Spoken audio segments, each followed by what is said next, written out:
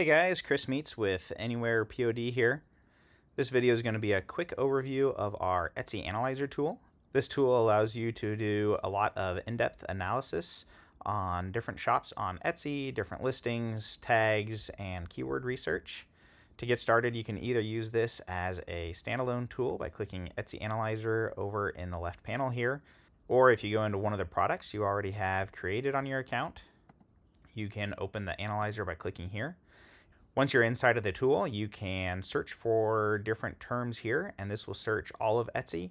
Uh, or you can also put in a shop along with your keyword phrase, and then we'll just search that specific shop. After you put in your search criteria, you can select if, we, if you want to search just the specific category that your product is in, and then click on Analyze Listings.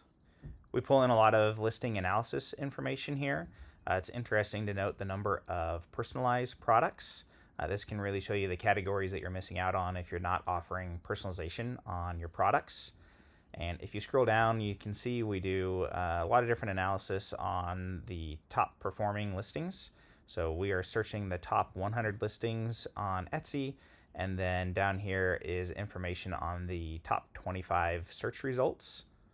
If you want to know more information about any of this data, you can hover over here and see uh, more information on where some of that data is coming from. Any of these open in new window links here will open the uh, search or shop uh, within Etsy directly. We can see the tags that are listed here for this particular listing, and if we select any of these, they'll be copied to our quick clipboard as well as added to our list of tags available up here at the top.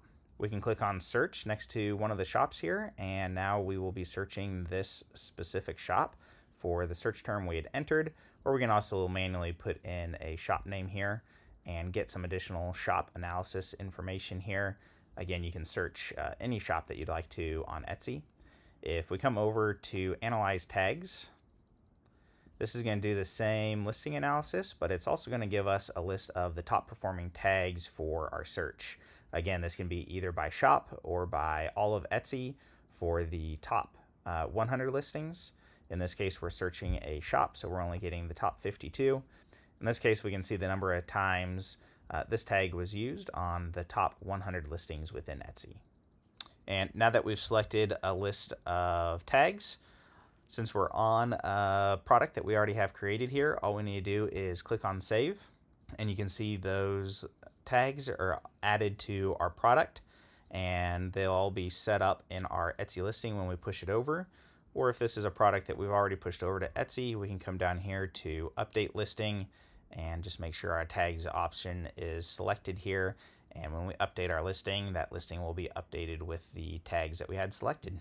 So that's a quick overview of our Etsy analysis tool. We think this tool can really help you in optimizing your listings and doing a lot of your keyword and competitor analysis on Etsy uh, without having to go out and use any other third-party tools and have your listing set up right from the get-go with optimized tags uh, to help you rank better on Etsy. If you guys have any questions, feel free to reach out to us at support at anywherepod.com.